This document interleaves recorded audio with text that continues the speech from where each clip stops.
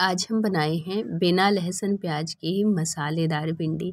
तो मसालेदार भिंडी बनाने के लिए ज़रूरी नहीं होता कि हम लहसुन, प्याज का ही मसाला यूज़ करें, तभी हमारी सब्ज़ी जो है वो मसालेदार बनेगी। तो मैंने कौन से मसाले डाले हैं और कैसे डाले हैं, किस तरीके से डाले हैं तो आप इस वीडियो को फुल वॉच करेंगे ना, तभी आपकी भी भिंडी इस तरह से बनेगी। देख रहे हैं ना, कितनी बढ़िया लग रही है देखने में। तो ये जितनी अच्छी देखने में लग रही है ना, खाने में भी उतनी ही अच्छी है।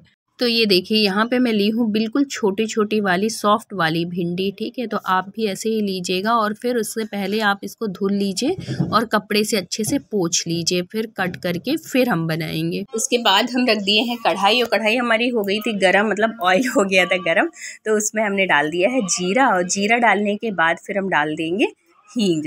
हींग बहुत अच्छी होती है, टेस्ट भी अच्छा आता है और डाइजेशन के लिए भी अच्छी होती है, फिर उसके बाद हम डाल देंगे ये जो हमने चॉप कर ली। चॉप नहीं मतलब कट कर ली थी। भिंडी। उसको डालने के बाद अच्छे से फ्राई कर लेंगे हम। देखो, हमने इसमें कुछ भी नहीं डाला लेकिन फिर भी हमारी जो सब्ज़ी बनेगी ना, बहुत अच्छी है। लेकिन उसमें डालेंगे क्या और कैसे डालेंगे, ये ज़रूर आप देखिएगा। तो इसमें हम डाल दिए हैं थोड़ी सी हल्दी। इससे ना कलर बहुत अच्छा रहा मतलब ग्रीन ही रहेगा इसका। हल्का सा येलो और ग्रीन। मतलब निखर के आता है इसमें कलर हल्दी डाल दो। तो ये देखो, इसको तलते हुए हो गए थे, पाँच छः मिनट हो गए थे और ये बहुत अच्छे से तल गई है ना? तो ऐसे नहीं कि हमको तेल ही तेल में तलना है और फिर इसको निकालना है, फिर बनाना है, ऐसा बिल्कुल नहीं है, उसी में आप डाल दो और फिर जब ये अच्छी सी कुरकुरी सी हो जाएगी तो हम इसमें डाल देंगे क्या? बेसन।